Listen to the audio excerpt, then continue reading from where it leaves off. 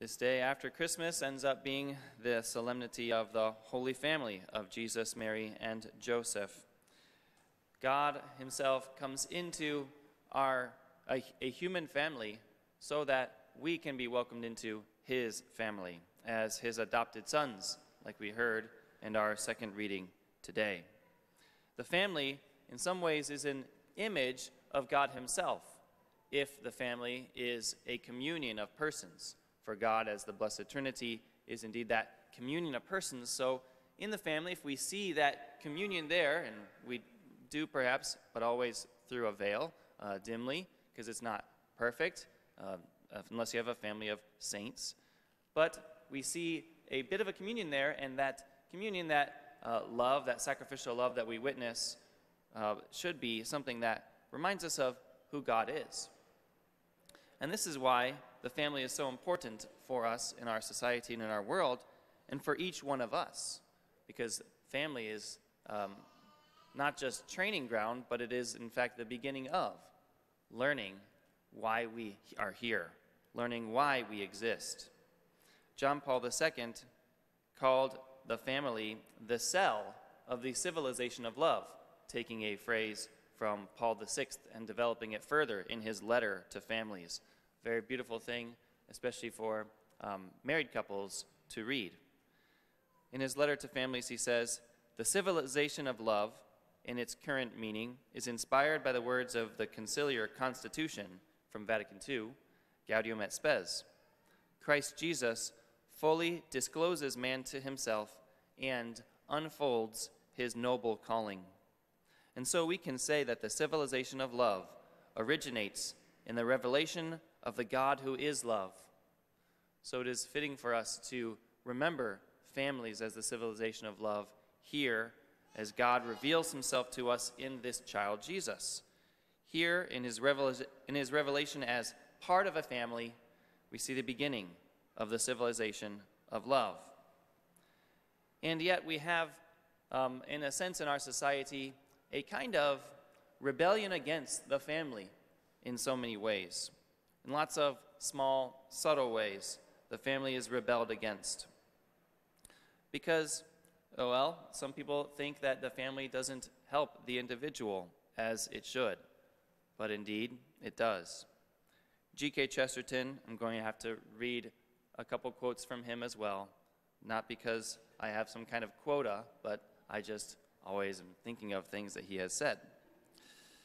He says in his book Heretics the institution of the family should be commended precisely for the same reasons that the institution of the nation or the institution of the city are commended. It's a good thing for a man to live in a family. For the same reason, it's a good thing for a man to be besieged in a city. It's a good thing for a man to live in a family in the same sense that it is beautiful and delightful thing for him to be snowed up in a street. They all force him to realize that life is not a thing from outside, but a thing from inside. Modern writers have suggested, in a more or less open manner, that the family is a bad institution. They have generally confined themselves to suggesting with much sharpness, bitterness, or pathos that perhaps the family is not always very congenial. Of course, the family is a good institution precisely because it is uncongenial. It is wholesome precisely because it contains so many divergencies and varieties. As the sentimentalists say, it is like a little kingdom, or like most other little kingdoms, it is also generally in a state of something resembling anarchy. Any parents with little babies know this, right? It is exactly because our brother George is not interested in our religious difficulties, but is interested in the Trocadero restaurant, that the family has some of the bracing qualities of the Commonwealth. Precisely because our Uncle Harry does not approve of the theatrical ambitions of our sister Sarah, it is because of this that the family is like humanity. The men and women who, for good reasons and bad, revolt against the family are, for good reasons and bad, revolting against mankind. Aunt Elizabeth is unreasonable, just like mankind. Papa is excitable, just like mankind. Our youngest brother is mischievous, just like mankind. Grandpapa is stupid like the world. He is old like the world. And so we see in our family the beginning of getting used to the world and all of its differences and all of its things that are uncomfortable to us.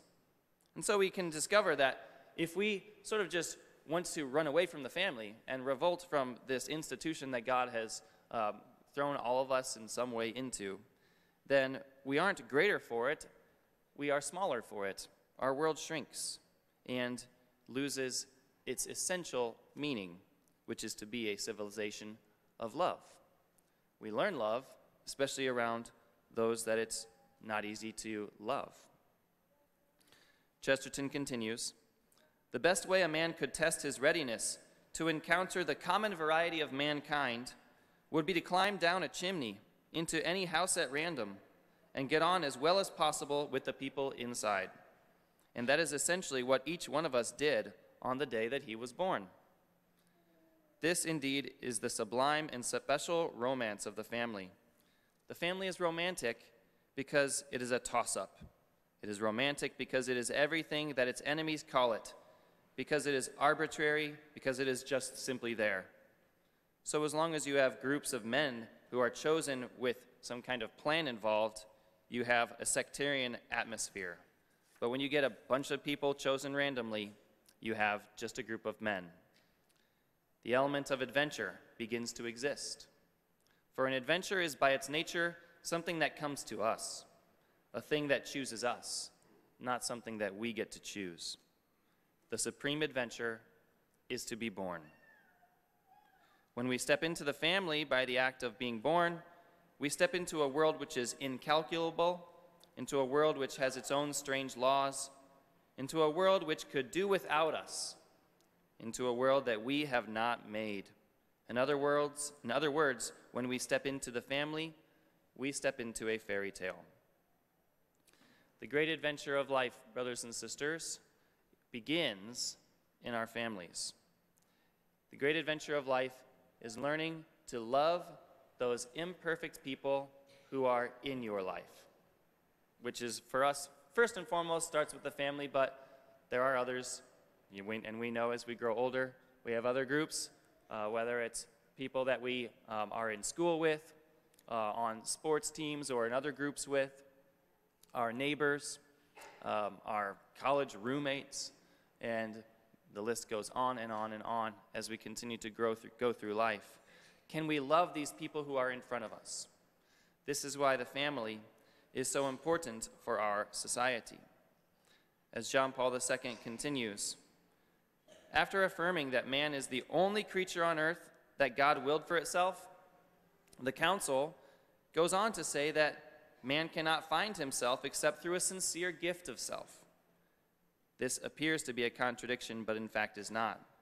Instead, it is the magnificent paradox of human existence an existence called to serve the truth in love.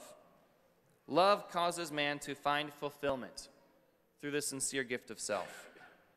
To love means to give and to receive something that we could, can, be, can neither be bought or sold, but only given or freely mutually, given freely and mutually, which is to give ourselves. That's the only thing that can't be bought and, sold is ourselves. In our own day, history is repeating itself. We find ourselves in a type of crisis, John Paul II says, and it still exists for us. A crisis of what it means to be alive, of what it means to be human, and why we are here.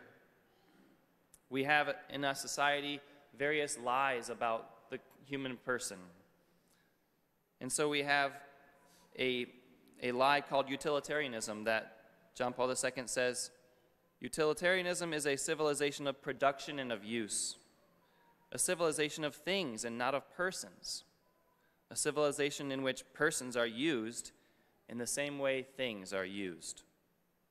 In the context of this civilization of use, woman can become an object for man, children can become a hindrance to parents, the family can become an institution obstructing the freedom of its members. But indeed, this is not what we are created for. And so, the lies about the human person, if you get the human person wrong, then you get the whole world wrong. you get all of our life wrong, and we don't understand why the family is so important. But if we start from the revelation of love that God has shown us in Christ Jesus, if we start with Mary and Joseph at the manger, then we will realize what our families are for. And we will be able to follow the advice of St. Teresa of Calcutta, as we call Mother Teresa, her advice to one who came to her, and probably many, who came to her uh, in Calcutta, hoping to serve the poorest of the poor. And she told them, Go home and serve there. She said, Grow where you are planted. Grow where you are planted. And that's advice for every one of us. In the families that we are planted in, in the neighborhoods that we are planted in, in the workplaces that we are planted in, can we grow there? Can we learn to love there? If you can learn to love in those uh, situations, then you can love anywhere. But if you can't love there, if you want to run away from uh, that vocation of love in those parts of your life, then your love will fall short in every other part of your life. John Paul II reminds us how important it is then for us to be people of prayer. Just as we heard in our first reading, we must put God first, as Hannah did, giving her son Samuel to the Lord in a special way dedicated to him.